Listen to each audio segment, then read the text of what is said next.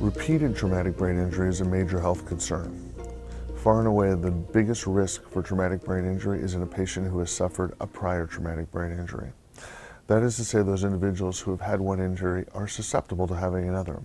Some of the common symptoms of traumatic brain injury, which put a person at risk for acquiring additional injuries to the head, include fatigue, headache, dizziness, vertigo, changes in reaction time, balance or coordination, loss of attention, impaired judgment, impulsivity, and aggressiveness.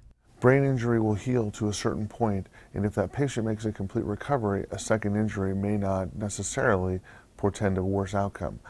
We do know, however, in in watching patients, for instance, over long periods of time in professional football and other sports, that um, if somebody has not recovered from a traumatic brain injury, has a second and a third insult, that they will never usually get back to their baseline.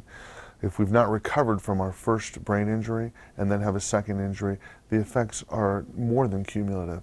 They become uh, greater to recover from. One of the concepts that has been, I think, meaningfully applied to neuropsychology and to the brain sciences is that there may be something called a brain reserve capacity.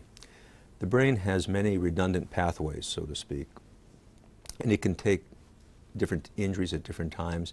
And because of the multiplicity of pathways, uh, the individual continues to function pretty well uh, as they go along. However, with multiple trauma, we believe that uh, the amount of redundancy that is available shrinks. So as primary care providers, as acute care providers, we need to let patients know that you're at an increased risk and you need to be aware that you need to move more cautiously, you need to rest more, and don't engage in any even remotely risky activities until your symptoms are resolved.